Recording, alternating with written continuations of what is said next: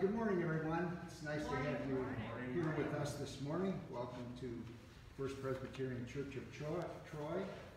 And um, we believe that through Jesus Christ, we are freely enter the presence of God here this morning.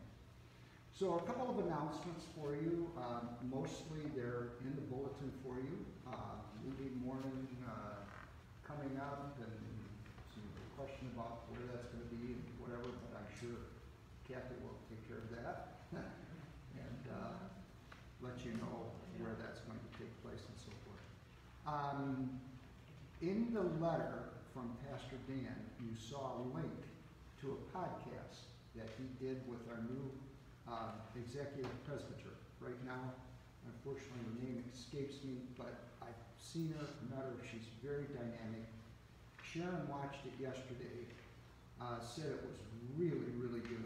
and- First half, haven't gotten to the First second half. half. Uh, Unfortunately, I didn't get a chance to watch it last night because once I got Listen home. to it, Listen to it, it's yeah. audio. Audio, okay.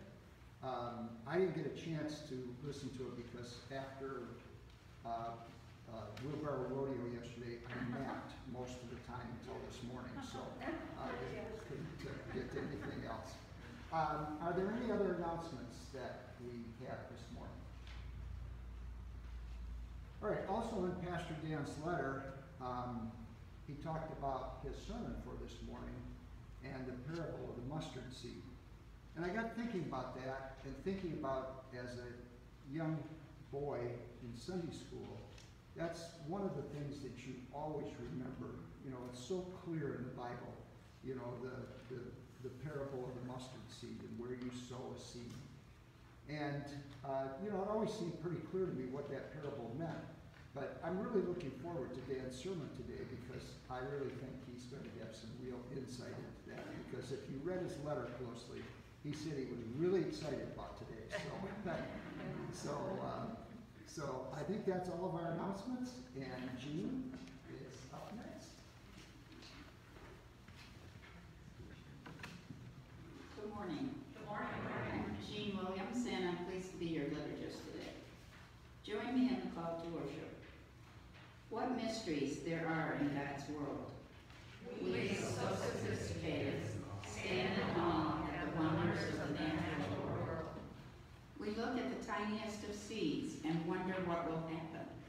From that small seed will grow a large shrub. Although we consider our gifts to be small and insignificant, God will use our gifts in miraculous ways. Praise God of small seeds and mighty power. Amen. Let us pray. Friends in Christ, God invites us to hold the needs of our sisters and brothers as dear to us as our own needs. Loving our neighbors as ourselves, we offer our thanksgivings and our petitions on behalf of the church and the world.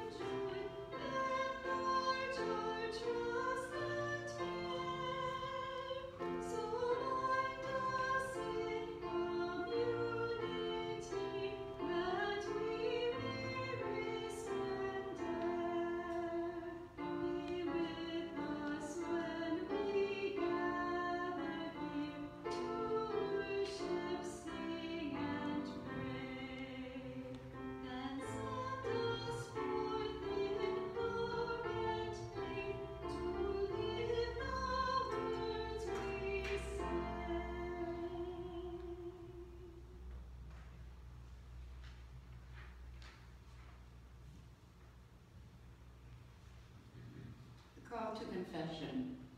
If we claim that we have no sin, we deceive ourselves, and the truth is not in us. But if we confess our sins, God, who is faithful and just, will forgive our sins and cleanse us from all unrighteousness. Let us confess our sins against God and our neighbor. Lord, forgive us when we doubt your mercy and your love. We are so caught up in getting everything that we want, and want it all right now. We have trouble waiting and remembering that it is in the waiting that we might hear your voice.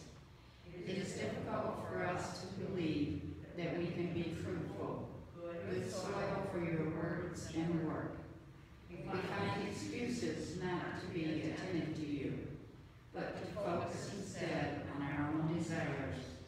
Slow us down, Lord. Remind us again your mercy and your love. For we offer all this in Jesus' name. Amen. Let us listen for God speaking to us.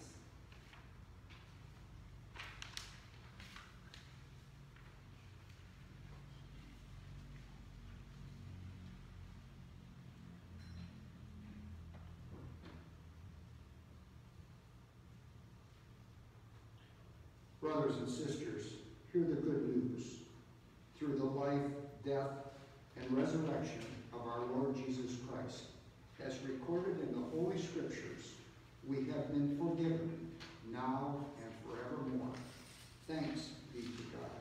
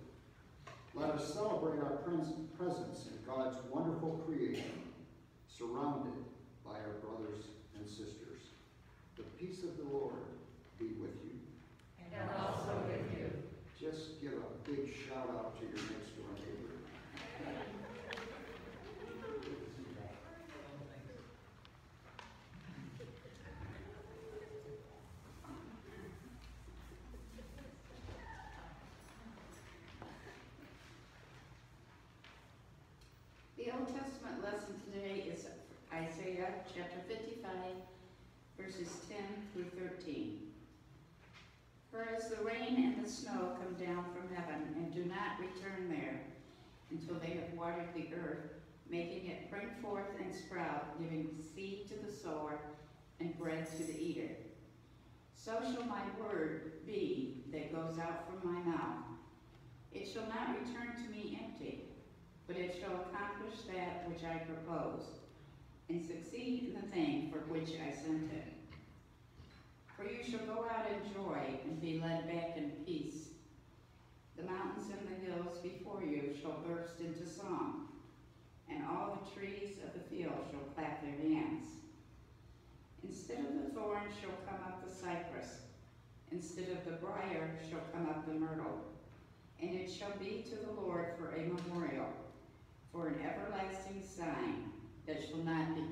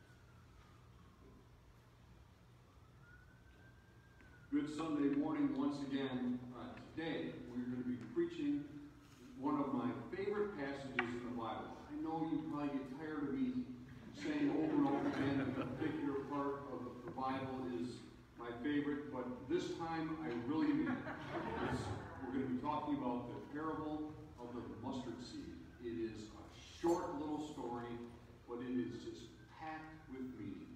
This is week three of our five-week walk through the great discourses of Jesus in the Gospel of Matthew. This week, is what is known as the parabolic discourse. What does that mean, parabolic? It, chapter 13 of the Gospel of Matthew has seven different parables. So, uh, parables, the parabolic discourse. And all of these parables that are in the Gospel of Matthew, uh, chapter 13, all speak to what is the kingdom of heaven? What is that all about? How does it uh, apply to us? And so we're going to talk about that a little bit. Uh, we're going to uh, bounce around a little bit here in Mark chapter, excuse me, Matthew chapter 13. Why is it that we're going to read verses 1 through 9, then 18 to 23, and then 31 to 32, and, which is in your bulletin? Uh, in this chapter, Jesus starts off and he tells the parable of the sower. And then he tells another parable. But then he comes back with the disciples privately. So first he's talking to a large group. And then later he's talking to the uh, disciples privately. And he explains what the parable means. So it's very helpful to have Jesus explain the parable of the sower so we understand it directly. But then he tells some additional parables, including the parable of the mustard seed. That one he does not explain. And so it is up to us to dig into it ourselves and understand it. Trying to decipher these parables is um, uh, important. It's uh, fun. Uh, it's uh, highly beneficial and educational because, it, because it's when we dig into it and apply ourselves to it that we learn the most about it. Uh, the parable of the mustard seed is only two verses. It's found in Matthew, Mark, and Luke. So three different uh, uh, witnesses heard it and wrote it down and then uh, thought it was important enough. Of all the things that Jesus said and did, they thought it was important enough that it be included in the gospel messages. So we're going to take a look at those. We're going to start off, and, and uh, before we get into it, parable. What's a parable? A parable is um,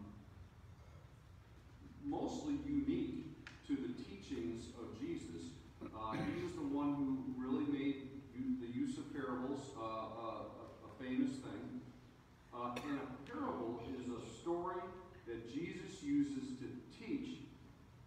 And the interesting thing about the parable is it usually has a little twist in the end.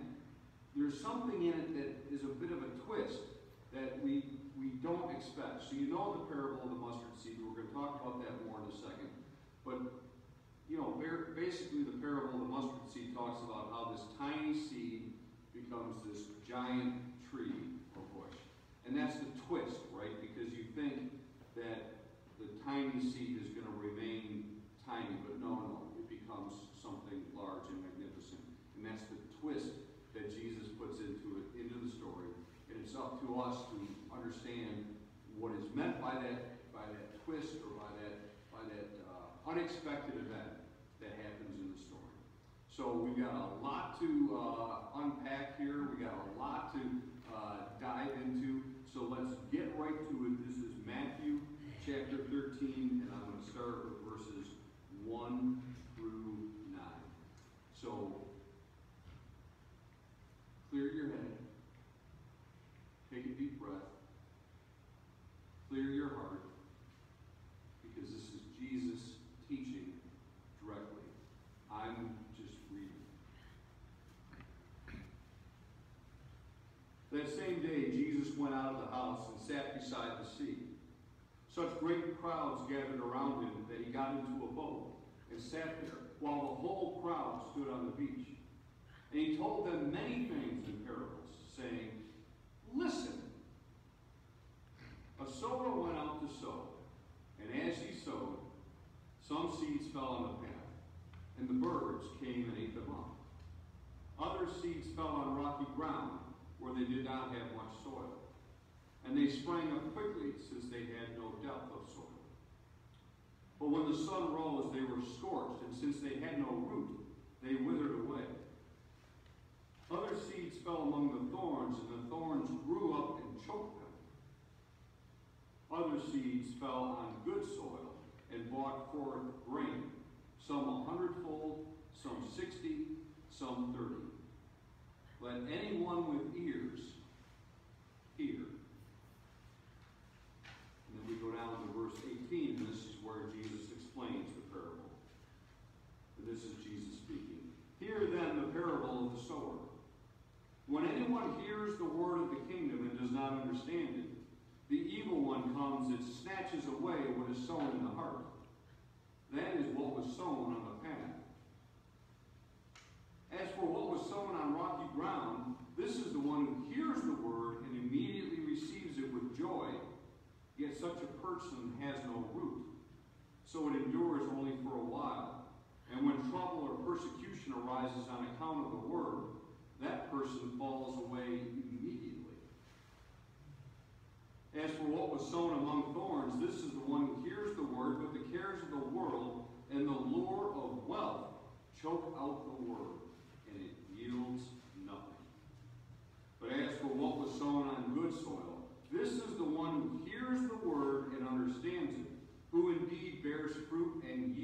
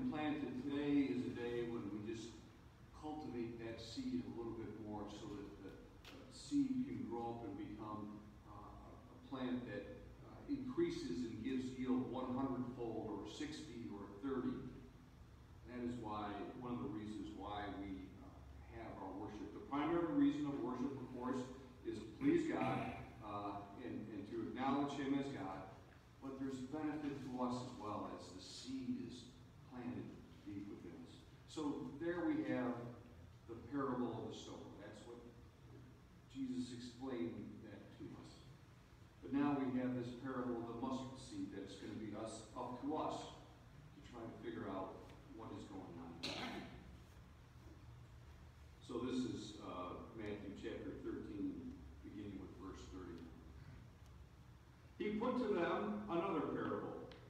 The kingdom of heaven is like a mustard seed that someone took and sowed in his field. It is the smallest of all the seeds, but when it has grown, it is the greatest of shrubs and becomes a tree, so that the birds of the air come and make nests in its branches.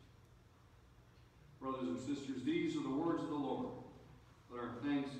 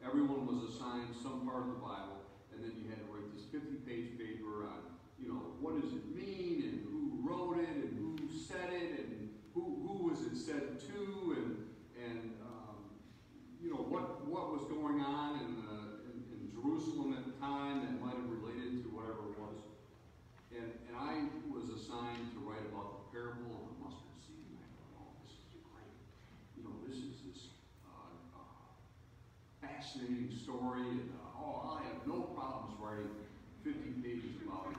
I, you know, I got my Bible and looked at it, and I said, oh my goodness. Oh no, the mustard seed is only two verses long. Five pages per verse. I was in trouble. As was so often the case, I was over my head. But you know, I had great mentors, and, uh, and, and there was a library filled with great resources, so I just dug into the parable of the mustard seed, and I've been fascinated by it, and I've learned more and more about it as the years have gone on. That paper was probably about, uh, oh gosh, at least 15 years ago. And as I've read and thought, contemplated on the parable of the mustard seed, I have only learned more as time has gone on. And that's part of the uh, uh, miracle, I guess, of Holy Scripture, is that as we continue to dig into it, we continue to learn, and as, and as uh, we grow and uh, mature and have new experiences and, and, and have new friends in the faith, the opportunity to dig into some of these uh, stories, these parables, the different accounts of Jesus, there's, there's still to learn. You can be a 99-year-old lifelong Christian. Still to learn. One of the things that strikes me about this parable of the mustard seed, and we're going to dig into it, start digging into it now, is, is this whole idea that the parable of the mustard seed is not about day-to-day life. It's not what Jesus is trying to talk about. He, he is saying, what is the kingdom of heaven like? Right? Because isn't that what we're what we're all about is we're all seeking and working towards this kingdom of heaven. And, and, and here's the thing about the kingdom of heaven. I don't think that Jesus, when he talked about the kingdom of heaven, he, he was talking about this, this afterlife, this, this thing that comes next. No. He wanted the kingdom of heaven to be built up right here in this time and in this place. So we are living in the kingdom of heaven. It, the, the, the challenge to us is, is to realize it and to live as if we are in the kingdom of heaven. We are called to be active citizens today in the kingdom of heaven. So we have to understand what the kingdom of heaven is like so that we can live like the citizens of God's kingdom that we are called to be. So, what is it that the kingdom of heaven is like? Well, it's like this, this mustard seed. Is Jesus always talking about seeds, plants, and uh, dropping seeds in the, on the path and all that? Well, people that he were that he was talking to, they they were from an agrarian society for the most part. They most of them, you know, were growing their own food, or, or uh, they were fishermen, so they were catching their own food. They understood what it, what agriculture was all about. So when he talks about a seed and a plant and the birds of the air, the folks understood that. He was speaking to in their language as plain as he could be. And so Jesus talks about this mustard seed. It's something that they that they understand, that they're familiar with. And so they Jesus says, the kingdom of heaven is like this mustard seed, this tiny little seed. And somebody takes it and plants it in the field. And here's the twist of the story. It's this tiny seed becomes this great big shrub. Now there's a couple things that happen in this in this story.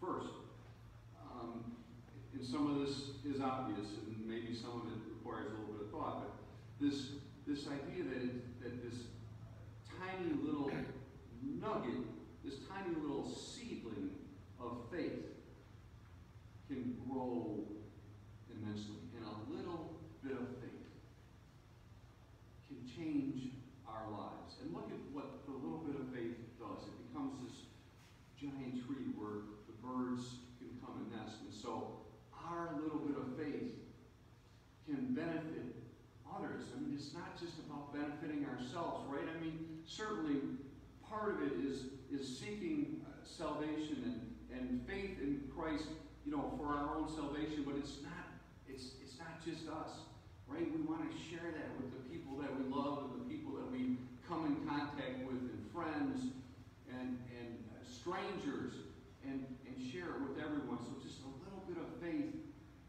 on our part. But here's the thing, the faith can't just be kept inside because listen what happens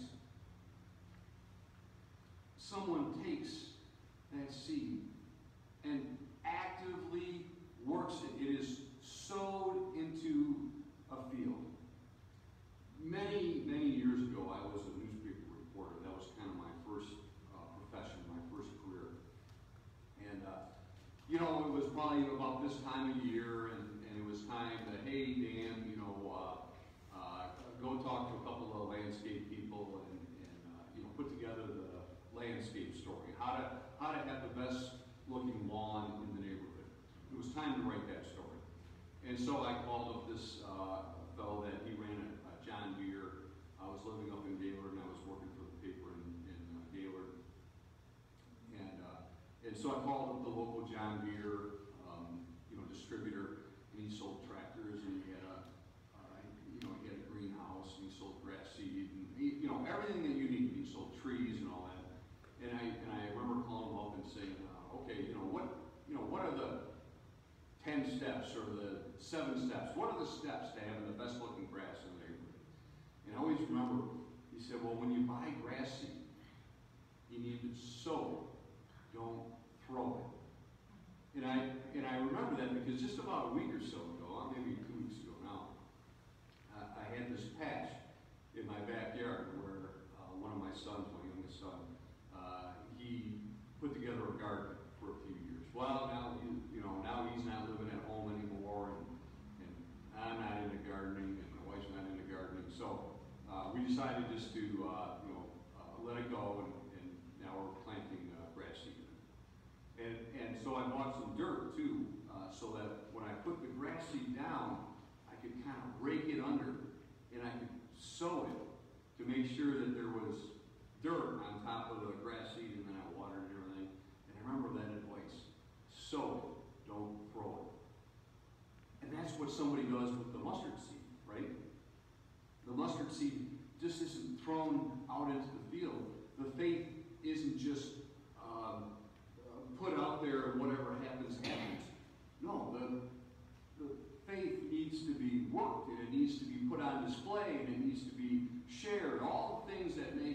Our faith sown into the seed, into the field. All the things that, that makes our, our faith uh, set deep into the soil so that it can grow, right? The, Jesus is very clear. Someone takes the mustard seed and sows it in his field. And then it grows and becomes this great shrub.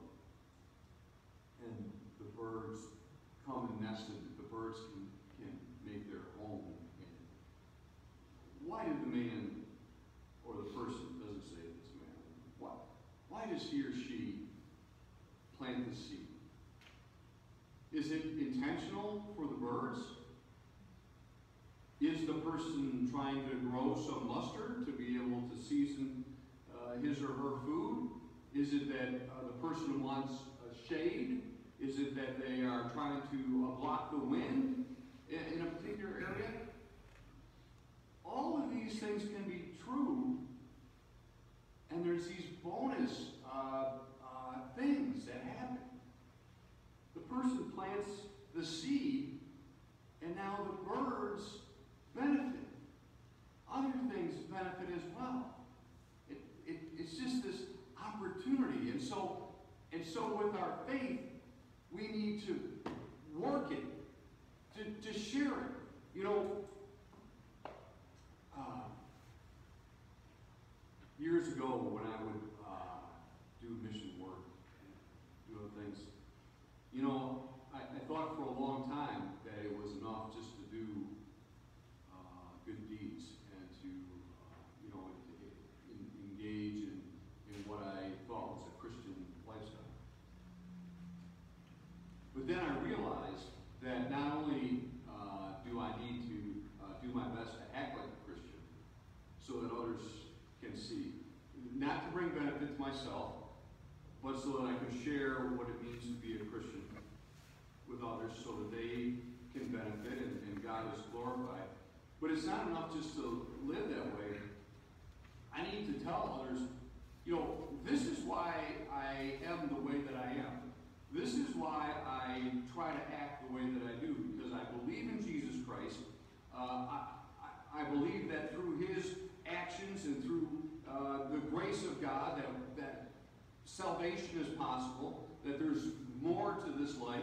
I, I believe that if I call on the name of the Holy Spirit, I can be strengthened and I can be comforted, and, and my times of joy will be that much more joyful, and, and my times of sorrow and weakness, I'll be lifted up. I, I, I need to acknowledge the, the role that Jesus has in my life and the fact that the Holy Spirit is present and, and that, I, that I acknowledge that I'm only in this world because God created life and gave life to me and, and to my mother and, and to, uh, you know, made the circumstance possible that allowed me to be here. Uh, I need to acknowledge God. Uh, I want to say just one or two other little uh, factoids here, tidbits about this uh, mustard seed story. Because there's always somebody that says, you know, Dan, um, there's actually seeds that are smaller than mustard seeds, and that's that's a truth. That is a scientific fact.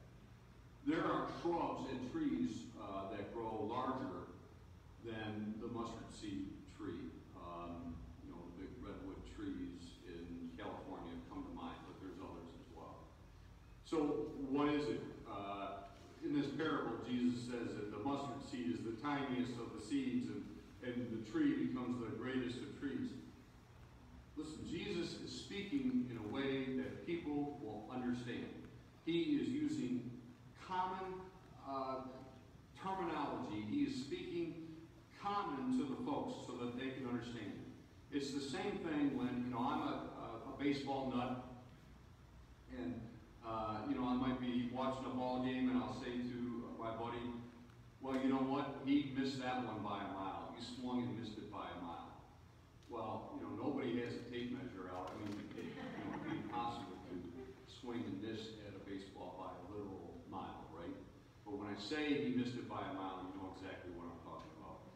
And that's what Jesus is doing. He's trying to say this tiny little seed becomes this great big tree.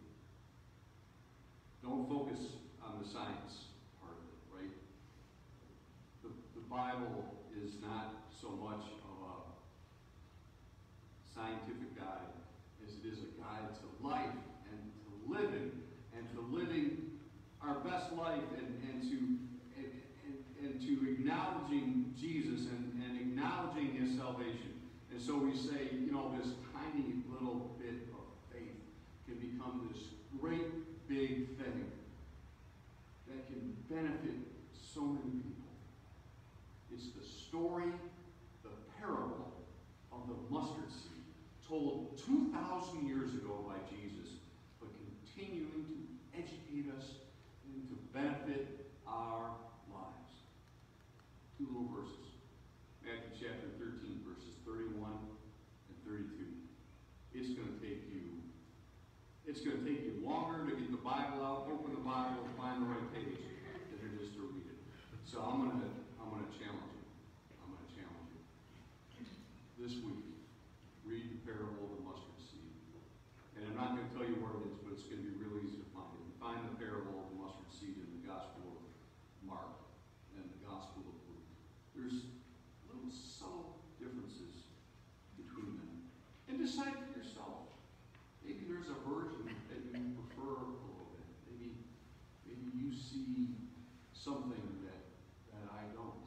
Maybe there's a way that the parable of the mustard seed speaks to you uh, in ways that are different than it speaks to me.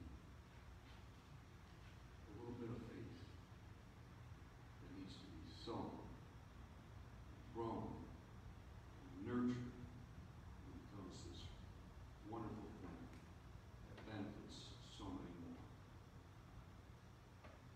Let us all have faith of the mustard seed. Read it this week. And see how you like it.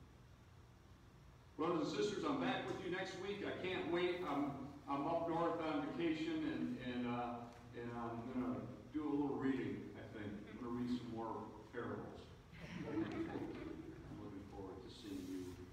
Thank you for your tolerance uh, as I've had some travels here recently, but I look forward to being back with you and to working on our faith together.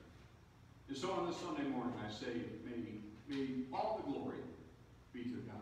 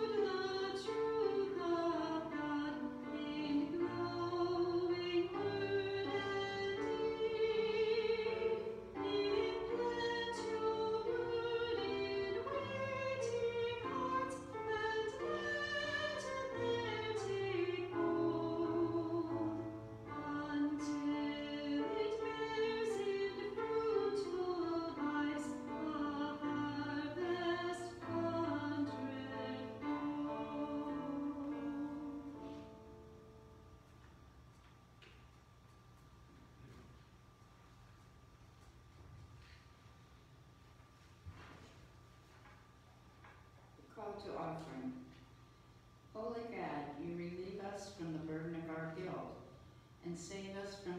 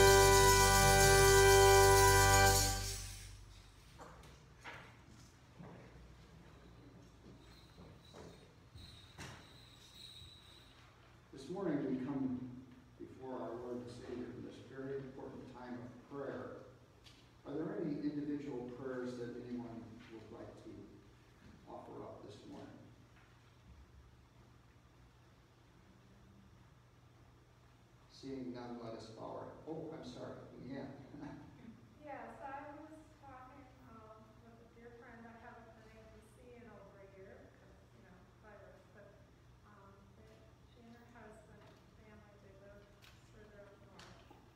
And he, during this pandemic, her husband has been diagnosed with lupus. And so they've had to be very careful about, you know, not being around anybody. He's been having to travel down to, um, the hospital in Ann Arbor to see a special doctor. So just, I ask prayers for, we know him as Corky, that's his nickname, but his middle name is Dennis. So prayers for him and the family. Lord have mercy. Okay, let us bow our heads in prayer. God of wisdom and courage, we give you thanks for sustaining our church in these uncertain times. We pray for your Holy Spirit to descend on us as we gather in person over computer screens and mobile phones. Though our hands cannot touch each other in the passing of the peace of Christ, may our hearts touch, remembering to love one another as we search for ways to remain connected to one another in your name. Be with those not just within our church, but in your church universal, who are feeling isolated in this new age of electronic connection. We give thanks for the blessing that this church has received, and we pray for those congregations that are struggling to maintain the mission that you have commanded us to proclaim. Inspire us to care for one another as you have instructed in the gospel. Bless those who preach the gospel and who hear. May your presence be felt even more strongly as we look to you for our refuge and strength. This morning we hold up to you the individual that we have named and ask for your blessing upon them.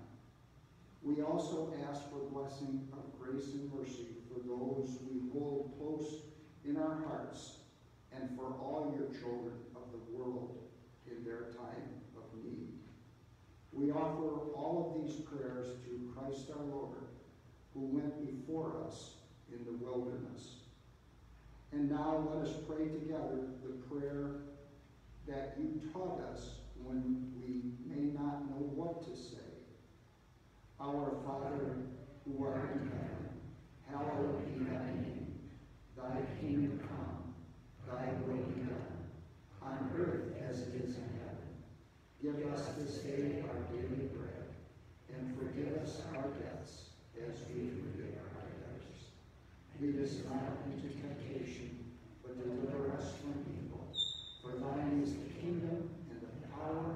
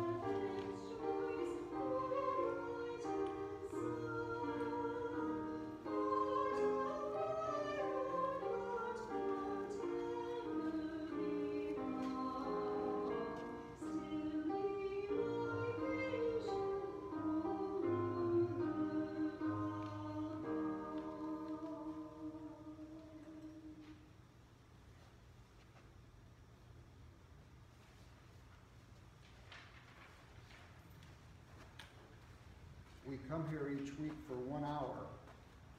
This is where we come to receive the seed. Go forth this week, nourish, water that seed, and help it grow. Have a good week.